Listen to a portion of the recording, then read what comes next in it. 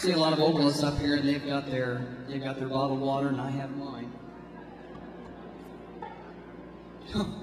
now look at this thing. It's it's a jug.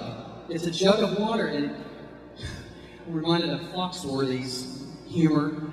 If you're singing at Ketchum Community Center with a jug of water, you might be a redneck. So here I am. The next three songs I'm going to sing for you are from my um, latest album, Time Changes Everything, which, as a musician, I must be a self-promoter. And it can be found, whatever copies are left, at Total Entertainment. And I did this album roughly about a year ago, and I had the idea to get back into music in a more serious fashion. And I utilized a lot of local talent around here. Um, the recording engineer Jim Ellis of Songbird Recording Studio. Um, probably most of you don't know that we do have a recording studio here in town, and he does a fabulous job. Also an incredible guitarist. And um, for the album art for this, uh, my best friend Jim Norris did the artwork for it at absolutely no cost for me, and it's it's it's incredible. I was so happy that I was able to to do that. Um, the next three songs are from this album, and they are three of my favorites. Um, they are "You Raise Me Up," if I can read my if I can read my writing there. uh, "You Raise Me Up," "Remember When It Rained," and "To Where You Are."